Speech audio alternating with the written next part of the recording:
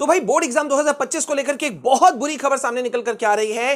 CBSE के official Twitter handle से एक ट्वीट सामने निकल करके आया है जिसको मैं लेट नाइट ही बनाना चाहता था वीडियो लेकिन काफ़ी देर हो चुका था मैं भी काफ़ी बिज़ी था तो मैंने कल वो नहीं बनाया।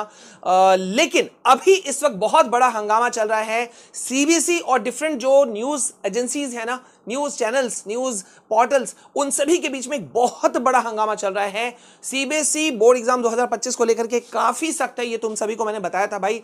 बोर्ड एग्ज़ाम 2025 में काफ़ी सारे चेंजेस आ रहे हैं, लेकिन इस वक्त एक नया हंगामा सामने निकल करके आ रहा है इस हिंदुस्तान टाइम्स के इस न्यूज़ आर्टिकल के वजह से, जिसमें कि हिंदुस्तान टाइम्स के न्यूज़ आर्टिकल जो कि पब्लिश हुआ था 30 जून 2024 को, और जिसे मैंने बताया भी था तुम लोगों को कि भाई सीबीएसई की तरफ़ से एक स्टेटमेंट आ रहा है, जिसने, जिस जर्नलिस्ट ने इस आर्टिकल को लिखा, उसने ये कहा कि भाई सीबीएसई की तरफ़ से एक ऑफिशियल स्टेटमेंट है कि CBSE can not conduct CBSE conduct नहीं कर सकती। Board exams twice year under current schedule कि करंट शेड्यूल के अंदर में सीबीएसई जो है, वो अपना ट्वाइस बोर्ड एग्ज़ाम वाला कॉन्सेप्ट को लागू नहीं कर सकती। अब सीबीएसई के ऊपर में ऐसा कहना सीबीएसई के ऊपर मानो आघात हो गया, चोट लग गई सीबीएसई के दिल पर और भाई चोट लगती है तो क्या होता है? अगला आदमी जो है वो रेस्पॉन्ड करता है और ये देखो रेस्पॉन्स जो है वो सामने निकल करके आ गया है। ये सीबीएसई का ऑफिशियल ट्विटर हैंडल है, जिसे मैं थोड़ा सा जूम कर रहा हूँ ताकि तुम लोग आसानी से पढ़ सको। पहले मैं दिखाना चाहता हूँ, यहाँ पे सीबीएसई ने इसी न्यूज़ के क्लिप को, पेज को जो है, इन्होंने टैग कर दिया है। ये देख सकते हो, तुम टैग कर दिया है और इन्होंने तगड़ी खरी खोटी सुनाई है कि भाई different news portals including Hindustan Times अभी मैं तुमको दिखाऊँगा। ये सब जो कह रहे हैं कि हम दो बोर्ड एग्ज़ाम को नहीं लागू कर सकते, ये गलत है सीबीएसई कर सकती है।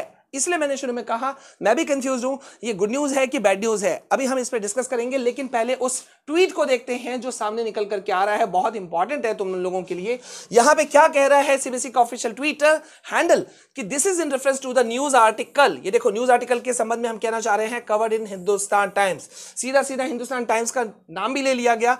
Delhi edition dated thirtieth June ठीक है? और जिसका टाइटल था can not conduct board exam twice year CBSE ठीक है?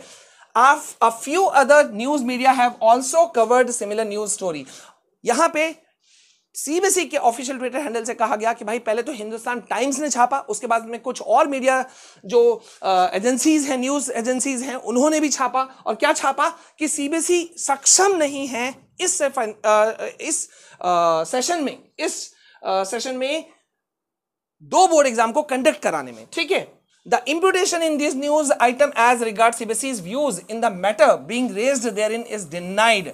You know, यहाँ पे साफ़ साफ़ कहा है कि भाई हमने तो ऐसा कहा ही नहीं आपने हमारा नाम डाल दिया हाँ सीबीएसई ने ऐसा कुछ कहा ही नहीं है कि हम दो नहीं कर सकते। इट इज़ टोटली इनकरेक्ट ये देखो it is totally incorrect and also and does not have any basis in communication made between the ministry and CBSE मतलब यहाँ पे कहा गया कि भाई सीबीएसई और शिक्षा मंत्रालय के बीच में ऐसी कोई बात ही नहीं हुई है। ठीक है? तो सच्चाई क्या है? उस पर हम जाएँगे, लेकिन यहाँ देख सकते हो कि सीबीएसई के हेड ऑफ़िस से इस आर्टिकल को और अपने जवाब को टैग कर दिया गया है।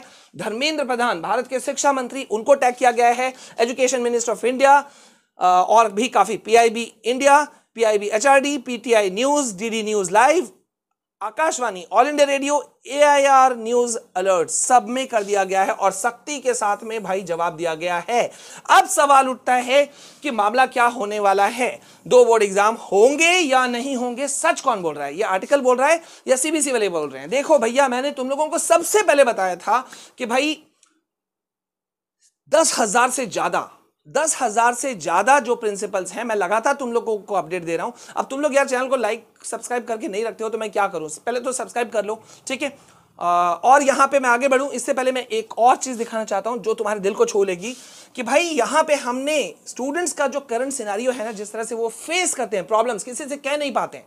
तो हमने एक नई सीरीज़ शुरू की है एपिसोड शुरू किया है, जहाँ पे हम स्टूडेंट्स के मन को, उनके दर्द को पढ़ने की कोशिश कर रहे हैं, उनके बातों को उठाने की कोशिश कर रहे हैं गार्जियंस तक पहुँचाने की और स्टूडेंट्स को मोटिवेट करने की कोशिश कर रहे हैं। तो ये देखो, मैंने दो एपिसोड्स डाल दिया है। बहुत इंपॉर्टेंट है, तुम्हारे दिल को छू लेगा। प्लीज़ यार, अपने लिए, मेरे लिए प्लीज़ इन वीडियोस को ज़रूर देखना, ठीक है? और चैनल में पहली बार आया हो सब्सक्राइब करना, ठीक है? साथ ही साथ इस वीडियो को भी शेयर कर देना।